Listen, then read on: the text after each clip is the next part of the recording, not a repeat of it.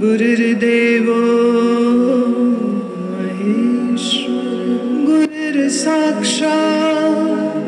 परब्रह्म तस्मै श्री